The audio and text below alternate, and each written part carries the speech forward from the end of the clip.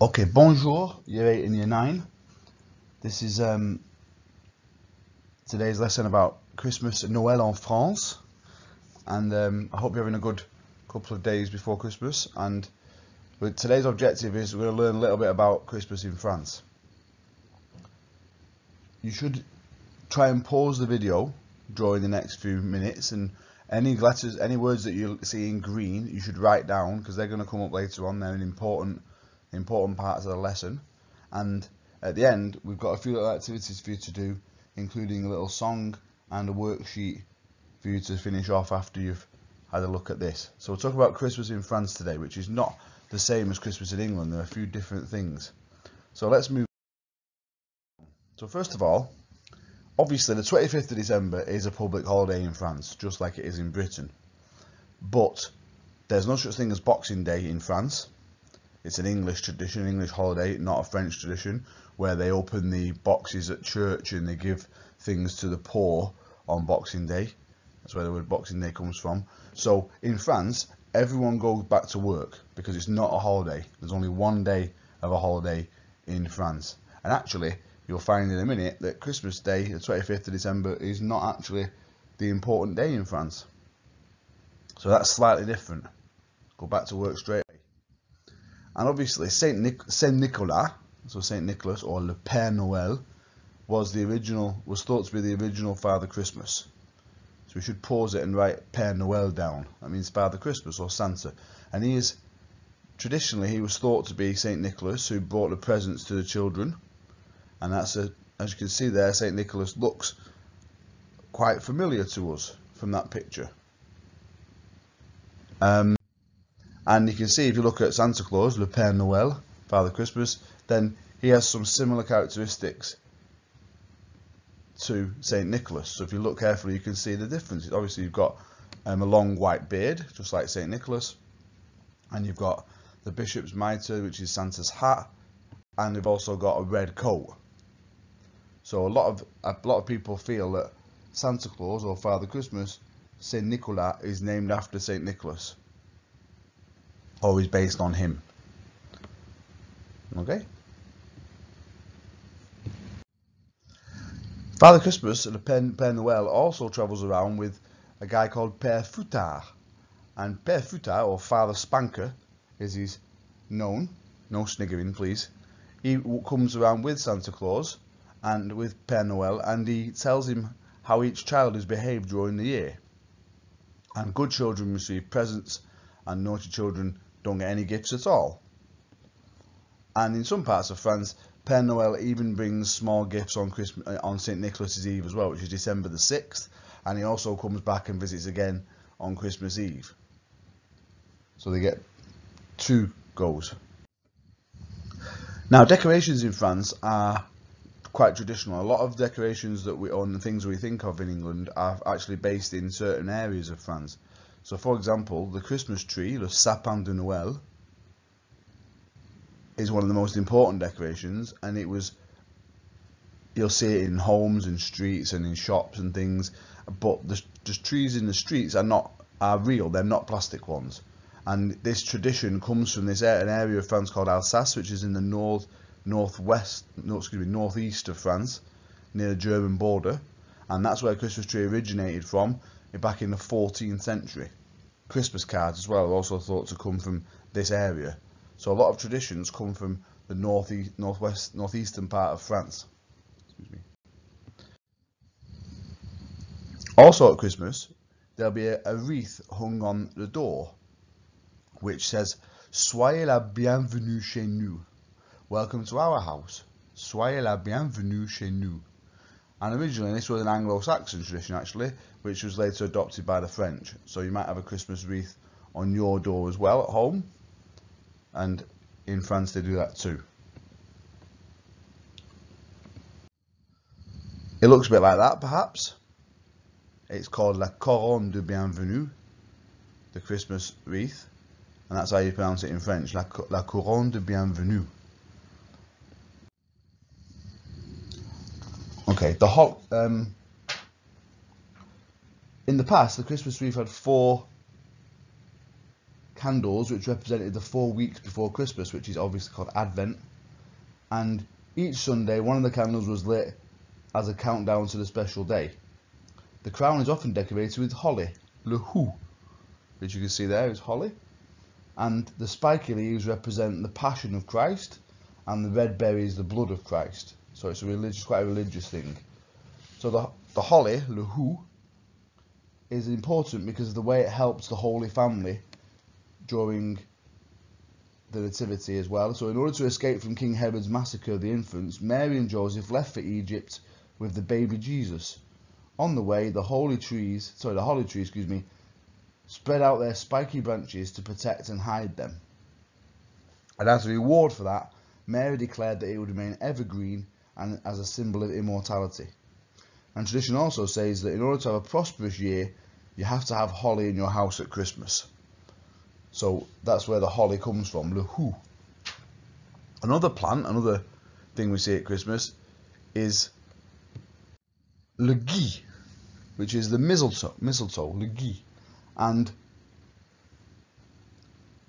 the history of the mistletoe is um, the plant has a, is a long history. It was, it was from the ancient Druids who considered it sacred because of its miraculous properties in healing and protection against all sorts of evils and witchcraft. So mistletoe has a long history of being used uh, and as decoration as well. And at Christmas time and in New Year, uh, mistletoe is, is suspended from the ceiling or from a door, and it's a tradition to kiss under the mistletoe as a symbol of prosperity and of long life. So again, that's similar to perhaps something we might do in, in Britain. Le houx is the mistletoe.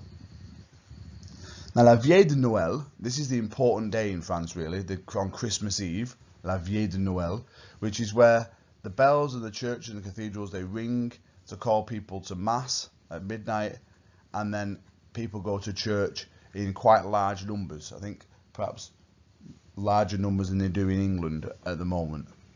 And obviously, and also that's when they have their Christmas meal as well on Christmas Eve and open some presents. We also have Advent, le calendrier de l'Avent is Advent, which is a period of four weeks before the birth of Christ. With the Advent calendar, you can count down the days before Christmas, and behind each window or door, there are pictures or little chocolates or lollies. So, again, we have that in England. That's how you say it in French, le calendrier de l'Avent. And as I've just said, Christmas Eve is a, quite an important day in France. French children don't just leave out socks, they may also leave out their shoes by the fireplace to be filled with gifts from Père Noël. So little things like fruit and that can, can and little treats can fit into a shoe or, or a sock. Okay, on the day of Noel, on Christmas Day, le jour de Noël, in the morning, they will also find sweets and fruit and nuts and small toys have been left by Santa. In other places, le petit Jésus is the one that brings the gift. Adults have no gifts at Christmas but wait until New Year's Day to exchange presents. So le jour de Noël. Okay, let's have a little bit of a, a look at Santa's reindeer. So in French, these are the names of Santa's reindeer on the on the left hand side, and we've got a few extra words at the bottom. Le traîneau is the word for a sledge, and une renne is a reindeer. And I want to see if you can work out what the names of the reindeer are. So we should pause it here and see if we can work out which one's which. Hopefully you know them in English. Maybe you can Google it and see what they're called in English first and see if you can match them up. So you should pause it now and see if you can match those up. So the first one we've got Fouge is the word is dasher. Danseur is obviously dancer. Hope we got that one right. Frignon is prancer. And Megère is vixen. Comet is comet. Cupidon is Cupid. And then the bottom ones, tonnerre and éclair, we might know by the German word Donner, which is thunder in English, and Blitzen, which is lightning. So Tonnerre and Eclair, thunder and lightning, Donner and Blitzen. So those are the names of the Santa's reindeer. Dasher, Dancer, Prancer, Vixen, Comet, Cupid, Donner and Blitzen. Hopefully you got that right if you paused it. Let's move on. We've also got a, like, like La Crèche in France. They have a tradition of having a, a crèche in, in a house. and was, it was St. Francis of Assisi who made the first crib, the first creche. This was in a cave in, in Greccio in Italy during Christmas of 1223, so an awful long time ago. And the tradition of having a crib at Christmas became very common in Italy and France. So it's not really a thing we I don't I don't do that in my house, so it's not really a thing we do in England. But in France they have a creche, and many French homes have a crib or creche at Christmas time, and they may also be seen in shops and town centres and churches. So it looks something like that, perhaps. I've seen some of them in England, but not too many. So we've got these little characters that are called santons. So santons are little figures that make the crib more like real life in a village. The characters are traditional and you can see them mostly in the south of France rather than elsewhere. Now we get to Le Réveillon, which is the big meal, the, or the big Christmas meal on Christmas Eve. So on Christmas Eve, when people have finished buying their last minute purchases, the streets become deserted. It's time for Le Réveillon, or the special Christmas meal. All the family eat together at this time.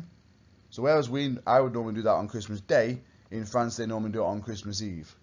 Le Réveillon. And people traditionally have seafood such as oysters, and they have roast turkey, and they also have une bûche de Noël, which we'll see in a minute. So for example, it starts off, le repas is the word for a meal, and there are quite a few different courses, many more courses I think than in England. I think food is one of the focuses of Christmas in France, much more so than in England even. And the meal has quite a few courses. Each course has its own wine to accompany it, so they have a special wine for each course for different ones. So le repas is the word for the meal. But be careful, attention, beware. If you're ever invited to a meal like this in France on Christmas Day, you need to be careful not to eat too much to start with, because you may not be able to finish it especially if you're in the south of France, in a place called Provence, where there are 13 different desserts to finish off. I'll have a look at them in a minute. So we'll start off. So the start of the meal, the meal, the menu de Noël, is starts off in France with some nibbles, some things to get you started. So there's some canapés. These are the canapés.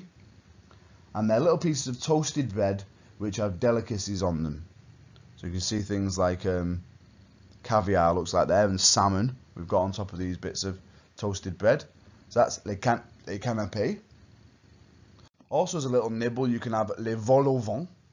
You might have seen vol au vents in England. So they're little pastry shells. The word vol au vent means to do with wind or it's lightly touched so it's like full of air and they contain a variety of tasty fillings. So some cheese maybe and tomato there and things like that les vols au vent. And another little nibble are les crudités. Les crudités, which are little pieces of raw vegetables such as carrot, celery, green peppers, and you could dip them into some sauces, maybe some hummus and things like that. And that's something else you might have in France to start you off. Then the adults would move on to an apéritif. So an apéritif is often a champagne which is served before uh, before dinner drink. So before you start eating properly, you would have an aperitif. And there are other types of aperitif. You can have um, a kir, which is the one on the left, which is a champagne with a blackcurrant liqueur in it called cassis. And um, there's also in the middle there whiskey you could possibly have, or a pernod, which is on the right hand side, which is a French drink. And if you add water to Pernod, you can, you can make it into a long drink, and when you do that, it becomes cloudy, like you can see in the picture there. So those are some other aperitifs you can have, some alcoholic drinks. So not for you, but when you get a bit older, you could perhaps experiment with some of these at a French Christmas in your house. Then we get to the starter. L'entrée is the word for a starter. And one of those is a pâté de foie gras, which is a goose liver pâté pâté de foie gras. And this is very expensive, foie gras, and you can only usually eat a lot, a little bit of it because it's very rich. Um, and sometimes there's truffle as well, which you have for decoration. So a foie gras. So we've only not even got started really yet, and we're already on to quite a few courses. Then we move on to les fruits de mer. So les fruits de mer, again, we have, I don't know if you have this in England, but sometimes you might have a, a prawn cocktail in England, but in France they have quite a lot of seafood, le fruit de mer. So seafood, for example, you might have something called prawns, les, les crevettes in French. Les crevettes are prawns you might have. You might have les crabes, which is some crab meat. You might have uh, les langoustines, which are crayfish. And you may also have les truites, which is trout. So lots of different types of fish. I think more than we have in England, different types of fish. And then we get on to le plat principal, so the main course in France. The main dish, which is la dinde, which is turkey, just like in England. So this sometimes this comes with vegetables and it's served with a nice sauce. And you also might have la salade, so a green salad. So after this is the salad. So it's, it cleans the taste of the other food from your mouth, and so it's also a little rest between courses. So it's just a little break where you have a little salad and your palate becomes a bit cleaner, so you can move on to other things afterwards. So that's le plat principal, la dinde et la salade. Okay, la dinde. So for, obviously we know what turkey and salad looks like. La dinde et la salade. Okay, next we go on to the cheese course. Wouldn't be France without having a cheese course. So le fromage is the cheese, and there are some very famous cheeses in France, such as Camembert, Brie, and Gruyere. Um, and you would eat the cheese with bread and drink red wine if you're an adult. So you have a cheese course, which might not appeal to you at the moment, but it's ten, it's very nice if you're grown up. You tend to like a bit of cheese afterwards. So I don't know how many courses we're up to now, but we've gone through quite a bit already. So you need got quite a lot to eat on Christmas, Christmas in France. And then we're on to the desserts. We've still got some room, so moving on to dessert. Les fruits to start us off. So during winter, most fruit is imported from warmer climates, and um, at Christmas they try and find something really special. So you might have some fruit, and then perhaps even better desserts. We've got bou la bouche de Noël. So la bouche de Noël is what we might call a Christmas log, a chocolate Christmas log, and again there's another example of one. And la bouche de Noël is a special cake for Christmas it's a sponge cake which is rolled and shaped like a log, and inside it there is often a creamy filling, and then it is covered in chocolate. So you can see the cream at the end there, and it's covered in chocolate, and that looks really tasty.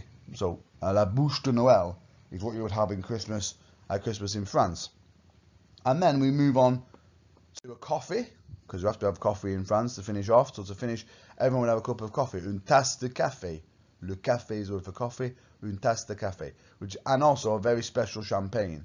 And there might also be some petit four, which are um, little biscuits to eat as well. Obviously, you can see there French coffee is usually quite small, but usually quite strong as well. Le café to finish off. And then, so there's a petit four, a little biscuit, or a cake, a little cake, a biscuit.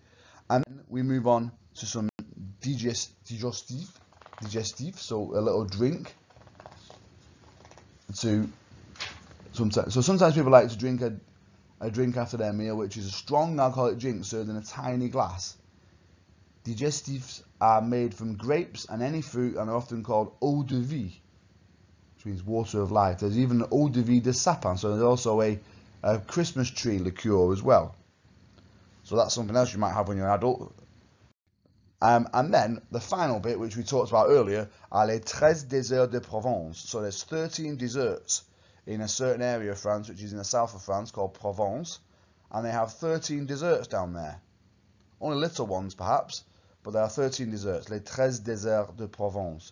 So, for example, we start off, the reason there's 13 is because of the tradition of the 12, the 12 apostles Jesus' 12 apostles and himself, and Jesus himself, and that's why they have 13. So it's a religious meaning for 13 desserts, treize desserts.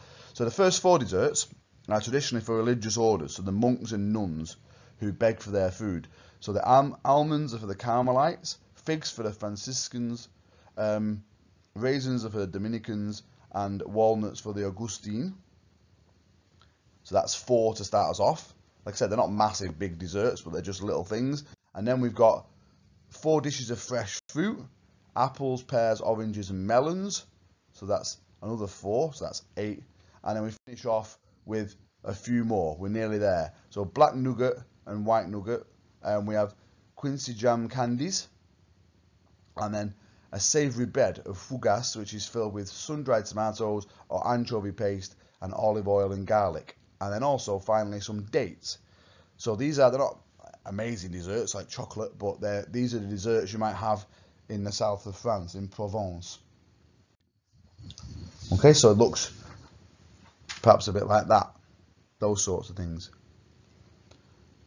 Okay, super. So I did a lot of talking. Now is the time for us to you to do a little bit of work. So there's a couple of worksheets that we've you should see attached to this. They're also on Frog as well on the Christmas lesson in half term two, but we'll attach it to an email as well, or maybe onto Frog.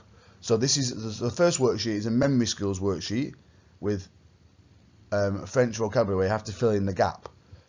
So you should be able to use the words in the text on on the sheet as well. And there's also extra support because we've you should have some green words as well that we've been talking about during this lesson. So there's a vocab sheet provided.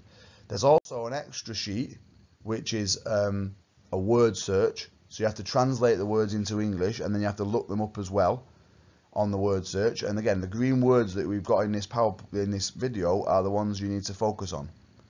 So um, you might need to go back and look at the video again if you didn't write them down.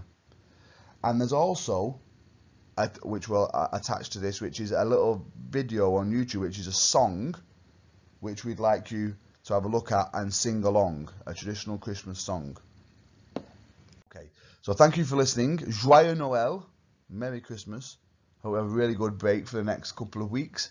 And then a bonne année, and we'll see you on, in janvier. We'll see you next year. So, joyeux Noël et bonne année. Merci, au revoir.